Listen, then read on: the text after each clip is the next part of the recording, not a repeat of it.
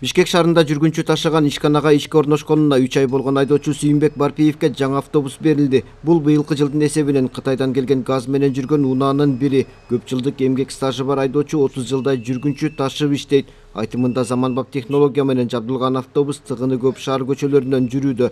Айдоочуга оорчулук алып келбейт.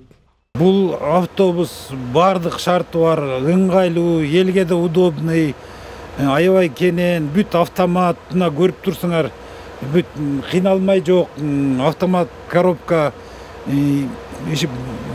баардык жери компьютер даже сиденье отурган сиденьялар ушунчалык мягкий э, аябай кыйналбайсың чарчабайсың.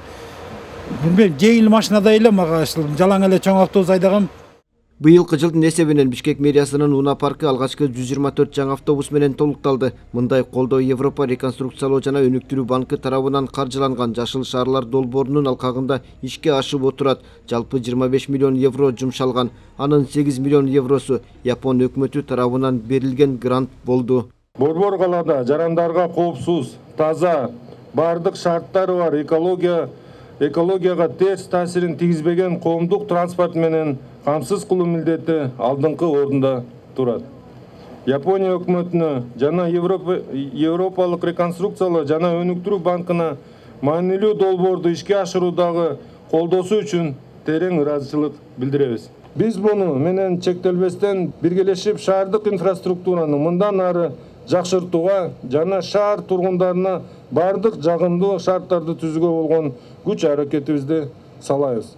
Этот проект сделан под проект экологияны сактоого багытталган долбоор ишке ашып жатканына кубанып жатабыз. Жаңы автобустар кары картаңдарга ден соолугунун мүмкүнчүлүгү чектелген жүргүнчүлөргө жана балалуу үй бүлөлөргө көбүрөөк ыңгайлуулукту камсыздайт. Жаңы автобустар ишке киргенден кийин азот кычкыл газын жетимиш бир пайыздан ашык жана көмүр кычкыл газын отуз сегиз пайызга жакын азайтат. Биз жашыл шаар деген ураан алдында дагы аракеттерди көрөбүз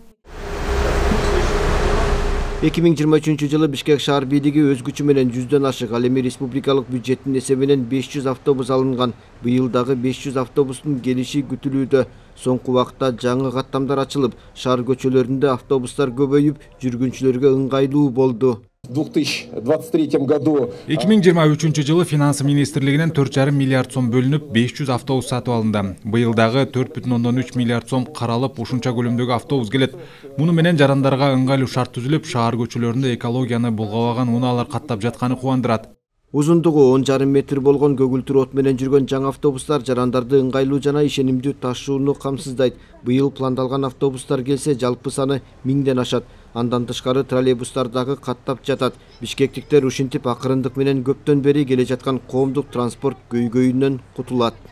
Уланбек тыйканбаев руслан сабатаров. Ала тоо жыйырма төрт